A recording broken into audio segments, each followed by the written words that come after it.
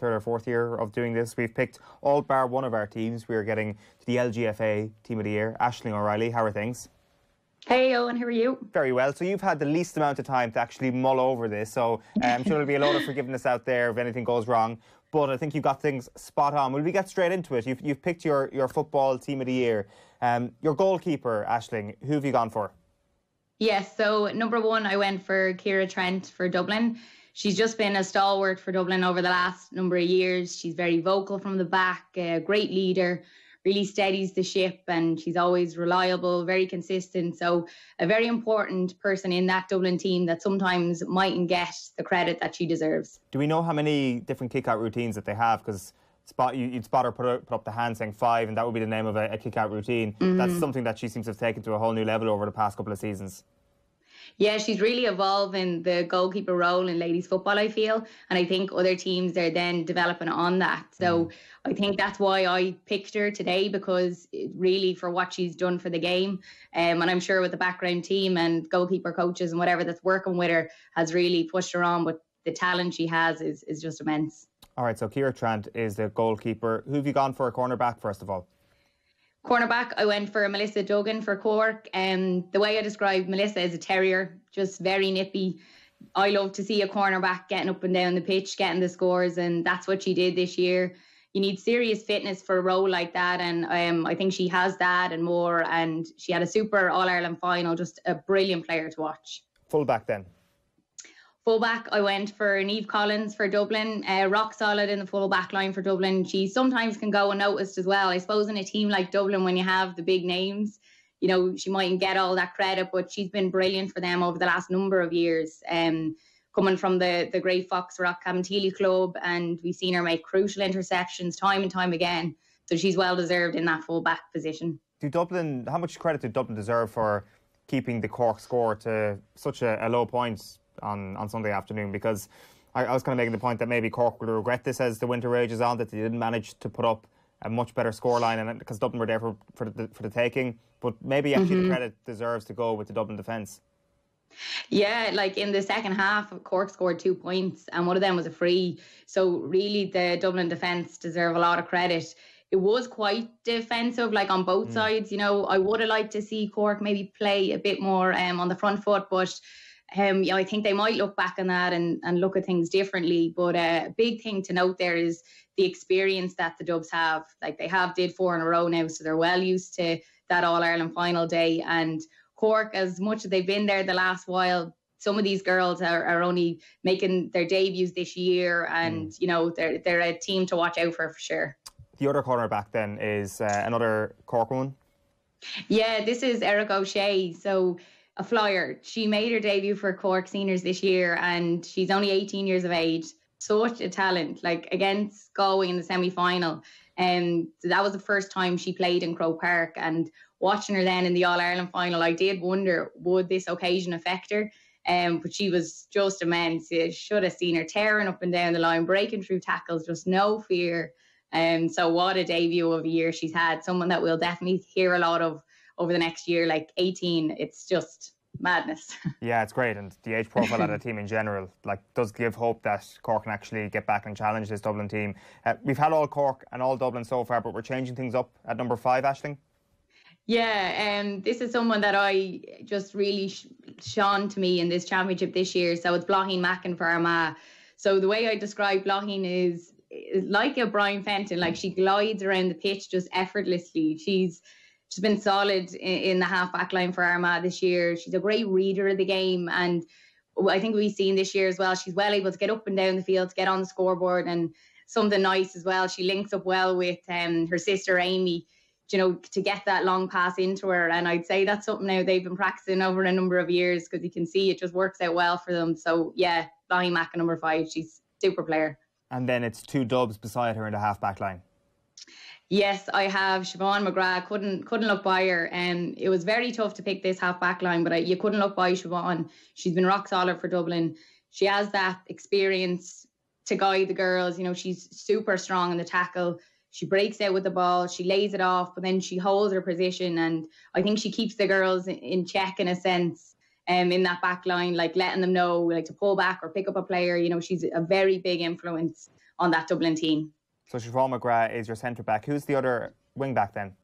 Yeah, then number seven, I went for Goldie, Sinead McGoldrick. Um, the fitness, the pace. It, I think with Sinead, it, it's what strikes me most is her ability just to get up and down the pitch, and she's always making that um, important tackle. Like a lot of the time, it's it's a hand or a leg or, or even herself. She throws her whole self in front of it, hmm. whatever whatever it takes to, to make that block. So yeah, she got player the the game in the final. She's seven All Stars. We can see why.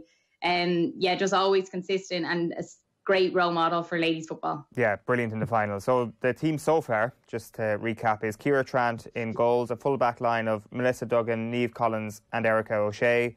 And then you've got Siobhan McGrath and Sinead Goldrick alongside Bláithín Mackin in the half back line. And then we move on to the midfield. So who have you gone for here?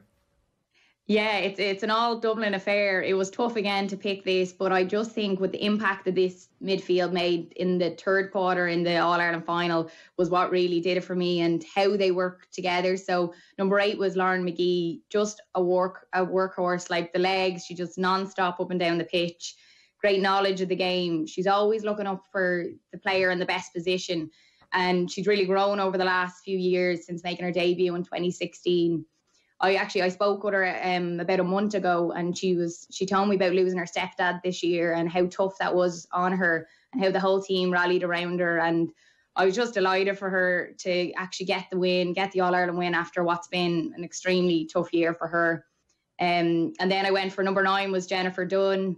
Jennifer's only 20 years of age. She works tirelessly, and she's been so consistent this year because Olwen Carey, um, she was a huge loss at the start of the year, but Jennifer just stepped up and look at the year she's had. You know, I was delighted for her, and she really made her presence known in the All Ireland final. Um, she actually received the pass to set up Carla Rowe, who was through on goal. Um, Carla was then pulled down, and that resulted in the penalty, and that's what got the Dubs back in the game. So she had a massive influence in that final. Right. So it's an all Dublin midfield, and couple of Dublin players mm. as well in the half forward line, needless to say. So, who's your number 10?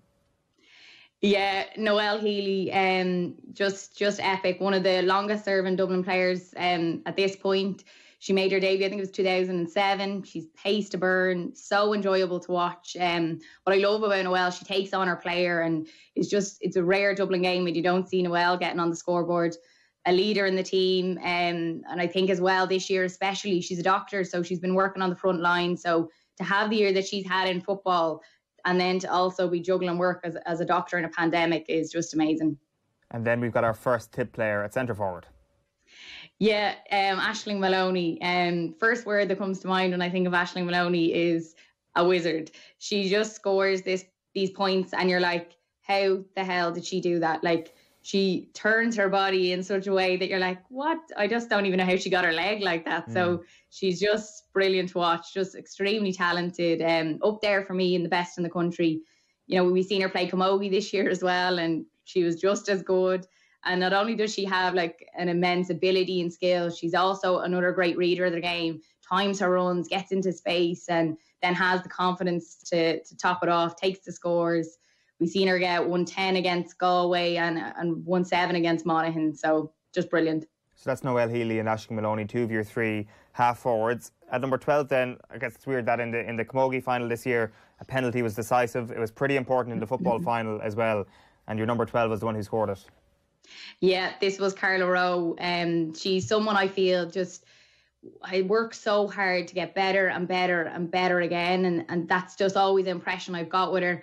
I believe probably that that is why she's as good as she is. Um, she's their powerhouse in the forward line for Dublin. Her pace, strength, getting herself in the right position, um, which results in all the scoring that she's done this year. So yeah, she got that all important goal um, in the final, and she's a real joy to watch, an exciting player, and someone that's going to have a huge future ahead of her. Right, let's get into the full forward line because this is interesting. There's no dubs in your full forward line here. Uh, call us out. We'll start with number 13 here. Who have you gone for? Yeah, no dubs in the full forward line, but I have Áine Sullivan. Couldn't look by Áine. She scored 1 1 in the All Ireland final. Um, she got the first goal in the, the first minute of the game. Incredible. She buried it incredible. Yes, you, you, need to check it out if you haven't. You know, it was top left hand corner. Um, we've seen her score 3 1 against Cavan in their first group game. she just had a great season this year. Really stepped up in the final when they needed her. Um, she's 26 years of age. So we'll be seeing a lot more of her and hearing a lot more of Áine Sullivan. So she's your corner forward. You couldn't not pick her, and no, you couldn't not pick your full forward. No, definitely not. Um, this is up there for Player of the Year also. Um, so it's Amy Mackin. Uh, geez, Amy just lit up the championship this year in ways. For me, anyway, she's put ladies football on the map a bit more than it already has been, if, if that makes sense. Um, I just think we need players like Amy in ladies football and to come back from a cruciate injury and to score like one six against Tyrone, I think it was two seven against Mayo. It's just incredible. She has the ability just to flip a game on its head. And and when her team is down, she, she really lifts them right back up, and that's a sign of, of a brilliant player. So over the next few years, I think we're going to see and hear the name Amy Mackin more and more. Something that strikes me actually about Amy is that she's never played in Croke Park, which is madness to me. But I've no doubt that you know over the next few years she will get there. Very special player. Yeah, it'll probably help with a few more games in Croke Park as well to, to give that opportunity. 15 mm. then, corner forward from Cork. Who is it? Yes. So corner forward, I again, I, I think Orla Finn is just epic for Cork this year. She's a player that I think doesn't always get the, the credit she deserves. She maybe goes under the radar a small bit. Her free taking is always right on point, and you know she finished the year with, with 120 in four games. Um, she got three points in, in the All Ireland final. So yeah, I think she's just been a, a, stalwart for, for Cork over the last number of years, and she's really deserving, I think, of that number 15 position. The question is, where are all the Meath players in this team, Aisling? I know, I know. I, I stuck to the senior, but uh, they could have easily slipped in. I think so people like Vicky Wall, we've seen in the All Ireland final, she got 1 3. And this is another goal you need to check out if you haven't seen it. She her sister Sarah Wall got pulled down um, in the back line. She got a bad injury, and it was particularly sad because she'd a cruciate injury there the last number of years, and she was only back. And Vicky was clearly upset about it. She was down with her for quite a while till they got her off the pitch. And within the minute of that happening, she responded straight away. Vicky got the ball, ran straight through the Westmeath defence. She did a little shimmy to put the defenders one way. She soloed on her left, and then on her right, she just like nailed it into the top left hand corner. So just something else. So she could have easily fitted into that team. Um, then you have the like Stacey Grimes from Meath as well. She finished up the year with 418. And then Máire O'Shaughnessy as well. She was their midfield and their captain. Super score yesterday from the Stand side. And she's just such a leader. So I was delighted for them. But the, yeah, they, will be there next year, there or thereabouts. Yeah, you, you did a, a, truly professional job on it. You didn't let personal bias get in the way. Let's recap your football team of the year. It is Ciara Trant in goals, a full back line of Melissa Duggan, Niamh Collins, and Erika O'Shea. The half back line then was Bláithín Mackin, Siobhan McGrath, and Sinead Goldrick. In midfield, it was Lauren Magee and Jennifer Dunne. The half forward line was Noelle Healy, Aisling Moloney, and Carla Rowe. And then your full forward line was Áine O'Sullivan, Amy Mackin, and Orla Finn, which means you've only got one more piece of business left to get to. It is your player of the year. Who is it? Yes, this was so tough. I found this really tough now. Um, I, I don't know. I think everything was saying to me it was Amy Mackin, but not that because she didn't get to the All Ireland final, you can't pick her. I, I don't think like that, but I just think over this year she really shone to me. She was it was so close between her and Carla Rowe, but in the end I gave it to Carla Rowe. I just think she's just someone that's been so consistent for the Dubs, a real team player, and I think that's the most important thing about her. She she's always looking out for the team, whether that's making space to to let a player run through, uh, or if she's making space to get on the ball, whatever it is. We've seen her get that pressurised penalty in the final. Dublin were down at that point when she took that penalty. Serious pressure. She got them right back in the game. She finished the day with 1 3. Um, she scored 310 for Dublin this year. I believe she is their powerhouse um, in the Dublin team. I personally love to watch her. Great role model. So, yeah, she is my player of the year. Yeah, and you can stick a penalty like that under the greatest of pressure as well. You probably deserve to, to eke out the competition. So, Carla Rowe is your footballer of the year. Fair play, Aisling. Happy Christmas to you. Thanks a million for that. Brilliant, Eoin. Thank you. Happy Christmas.